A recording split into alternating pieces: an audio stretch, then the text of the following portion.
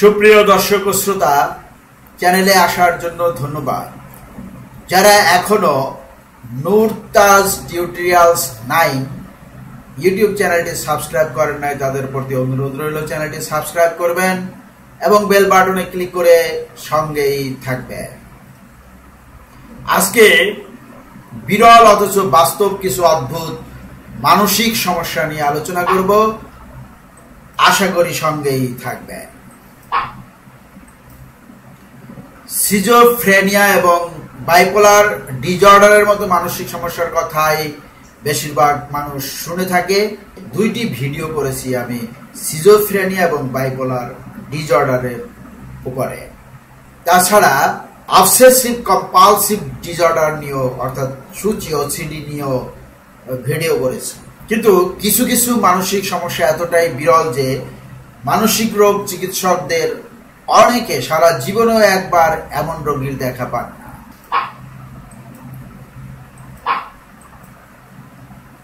মনোরোগ বিদ্যায় সবচেয়ে অদ্ভুত ও বিরল পাঁচটি রোগ বা উপসর্গের কথা এখানে তুলে ধরব।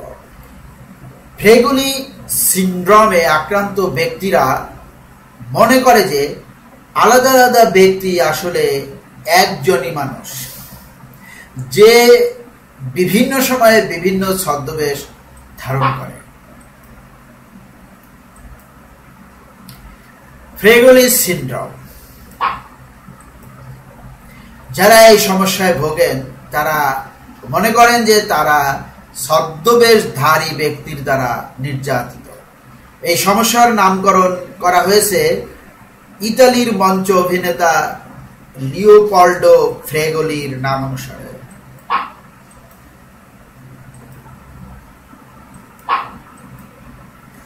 তিনি মঞ্চে উপস্থিত থেকেই খুব দ্রুত চরিত্র পরিবর্তন করে ফেলতে পারতেন এবং এজন্য তিনি প্রসিদ্ধ ছিলেন। রেগলি সিন্ড্রোমের কোনো চিকিৎসা নেই। ফ্রেগলি সিন্ড্রোম আরও অনেক মানসিক সমস্যার পাশাপাশি ঘটে থাকে। যেমন বাইপোলার ডিজর্ডার সিজোফ্রেনিয়া এবং অবসেসিভ কম্পালসিভ ডিজর্ডার ইত্যাদি। মানে সাধারণত ব্যক্তির মুড আবেগ বা মানসিক অবস্থার বিপরীতমুখী পরিবর্তন ঘটে যেসব মানসিক অবস্থায়। এছাড়া মস্তিষ্কে আঘাত এবং পারসিনসন্স ডিজিজ নামে চিকিৎসায় ব্যবহৃত লেভোডোপা নামে ওষুধ গ্রহণের কারণেও এই রোগ দেখা দিতে পারে। দুই সালের এক গবেষণায় বলা হয় যে, প্রথমবার শনাক্ত হওয়ার পর বিশ্বজুড়ে এ ধরনের উপসর্গে আক্রান্ত মাত্র পঞ্চাশ জন ব্যক্তির খোঁজ পাওয়া গেছে।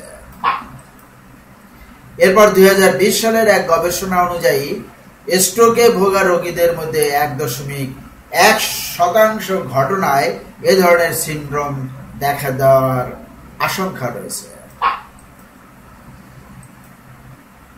স্ট্রোক সিমটমস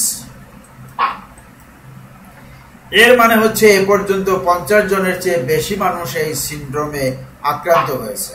কিন্তু তারপরেও এটি বেশ বিরল মানসিক উপসর্গ। ফ্রেগলি সিন্ড্রোমের তেমন কোনো চিকিৎসা নেই। তবে মানসিক রোগের চিকিৎসায় ব্যবহৃত কিছু ওষুধের মাধ্যমে এর উপসর্গ কমিয়ে আনা যায়। কোটার সিন্ড্রোম কোটার সিন্ড্রোম আক্রান্ত মানুষকে জীবন মৃত বা ওয়াকিং ডেড সিন্ড্রোম আক্রান্ত বলে বর্ণনা করা হয়। এ রোগে আক্রান্ত মানুষরা বিশ্বাস করে যে তারা মৃত এবং তাদের কোনো অস্তিত্ব নেই। কোটার সিন্ড্রোমে আক্রান্ত ব্যক্তি মনে করে যে সে আসলে মৃত। এই রোগের নামকরণ করা হয়েছে উনিশ শতকের ফরাসি স্নায়ুরোগ বিশেষজ্ঞ জুলস কোটার্ডস এর নাম অনুসারে। France neurologist Jules Cotard. তিনি আঠারোশ বিরাশি সালে প্রথম এই রোগের উপসর্গ বিষয়ে ধারণা দেন। সিজোফ্রেনিয়া বিষণ্নতা এবং বাইপোলার ডিজর্ডারে ভোগা রোগীদের মধ্যে এই মানসিক উপসর্গ দেখা দেওয়ার আশঙ্কা বেশি থাকে। এছাড়া ভাইরাস প্রতিরোধী ওষুধ, এসিক্লোভিরের বিরল পার্শ্ব প্রতিক্রিয়াতেও এ রোগের উপসর্গ দেখা দিতে পারে।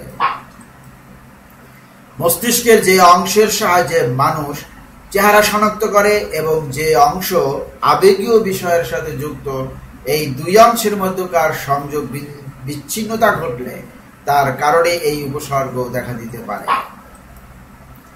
বিরল এই উপসর্গের ক্ষেত্রে বিষণ্নতা প্রতিরোধী চিকিৎসা, মানসিক রোগের চিকিৎসা এবং মেজাজ স্থিতিশীল রাখার চিকিৎসা কার্যকর।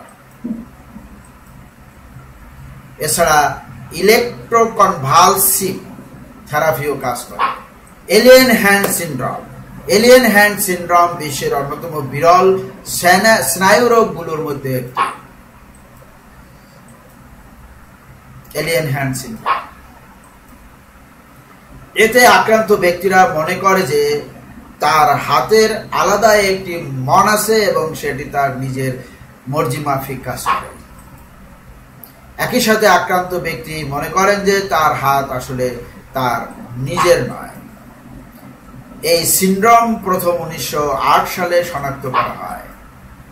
কিন্তু উনিশশো সত্তরের দশকের আগ পর্যন্ত এটি খুব পরিষ্কার করে বা ভালোভাবে বর্ণনা করা সম্ভব হয় না এলিয়েন হ্যান্ড সিন্ড্রোম এই শব্দ প্রথম প্রচলন করেন আমেরিকার neurophysiologist Joseph Bogen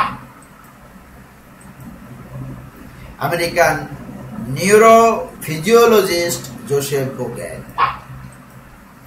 মস্তিষ্কের অস্ত্রোপচারের পর সেরে উঠেছে এমন কিছু রোগীর মধ্যে দেখা দেয়, অদ্ভুত ও নতুন আচরণকে বর্ণনা করার জন্য তিনি এই শব্দগুচ্ছ ব্যবহার করেছিলেন। এলিয়েন হ্যান্ড সিন্ড্রোমে আক্রান্ত ব্যক্তি মনে করে তার হাতের কাজের সাথে তার কোনো সংশ্লিষ্টতা নেই। এই সিন্ড্রোমে আক্রান্ত ব্যক্তিরা সংবেদনশীলতা, প্রক্রিয়াগতকরণ বিষয়ক জটিলতায় ভোগে এবং মনে করে যে তাদের হাতের কাজের সাথে তারা জড়িত নয়। গবেষণায় দেখা যায় যে এই উপসর্গে আক্রান্ত ব্যক্তিরা প্রায় এলিয়েন হ্যান্ডের নকল করে এবং বিশ্বাস করে যে তাদের হাতের উপর কোনো আত্মা ভর করেছে বা কোনো ভিন গ্রহের প্রাণী বা জীবের অস্তিত্ব রয়েছে তাদের হাতে। এলিয়া। কল্পনা এলিয়া।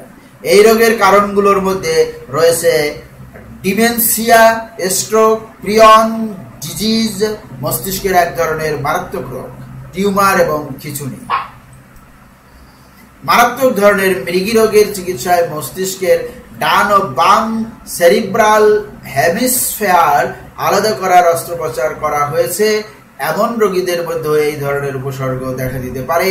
এই উপসর্গ খুবই বিরল।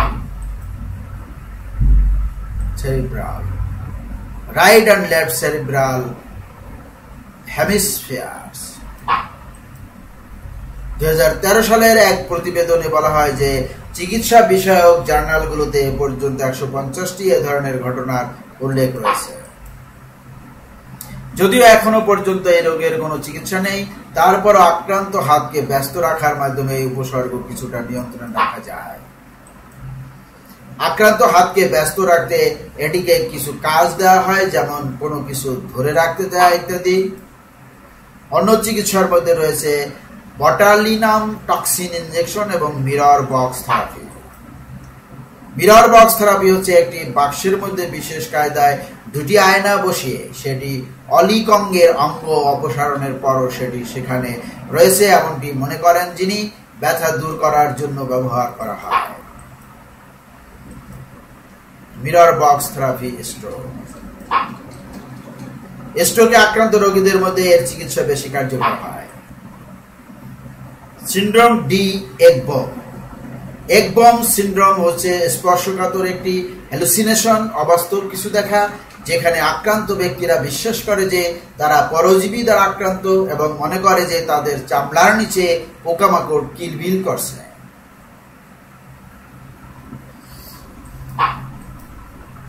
এই উপসর্গের নামকরণ করা হয়েছে সুইডিশ নিউরোলজিস্ট কার্ল একবমের নাম অনুসারে তিনি উনিশশো তিরিশের দশকে প্রথম এই অবস্থার বর্ণনা করেন। সুইডিশ নিউরোলজিস্ট কার্ল একবম আক্রান্ত ব্যক্তি মনে করে যে তাদের চামড়ার নিচে পোকামাকড় কিলবিল করছে। ছবিতে দেখুন।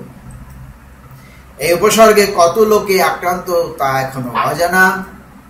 কিন্তু নতুন একটি গবেষণায় বলছে যে যুক্তরাষ্ট্রের একটি বড় ক্লিনিকে বছরে অন্তত বিশটি ধরনের ঘটনা দেখা যায়।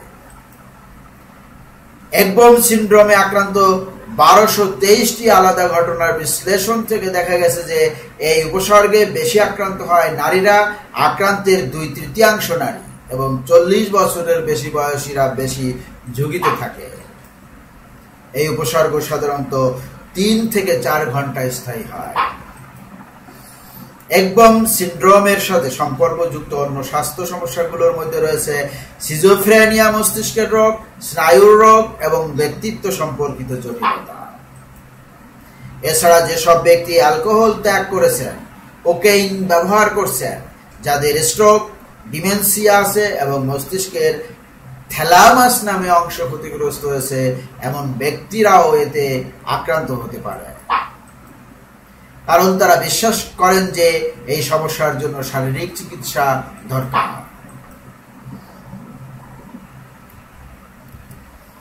Alice in Wonderland syndrome. Alice in Wonderland সিন্ড্রোমকে টর্ড সিন্ড্রোমও বলা হয়। এতে আক্রান্ত ব্যক্তির শারীরিক গঠন, দৃষ্টি, শ্রবণ, স্পর্শ এবং স্থান বা সময় সম্পর্কিত অনুভূতি যথার্থ থাকে না। এতে আক্রান্ত ব্যক্তিরা মনে করে যে তাদের আশেপাশে থাকা জিনিসপত্র আকারে বাস্তবের তুলনায় অনেক ছোট। এতে আক্রান্ত ব্যক্তিরা মনে করে যে তাদের আশেপাশে থাকা জিনিসপত্র আকারে বাস্তবের তুলনায় অনেক ছোট, অন্যদিকে আশেপাশে থাকা মানুষ বাস্তবের তুলনায় আকারে অনেক বড়। এর বিপরীত অনুভূতিও হয়, যেখানে আক্রান্ত ব্যক্তি মনে করে যে জিনিসপত্র বাস্তবের তুলনায় অনেক বড় এবং মানুষজন আকারে অনেক ছোট। এসব অভিজ্ঞতার সাথে কিছু মস্তিষ্ক বিকৃতি দেখা দিতে পারে।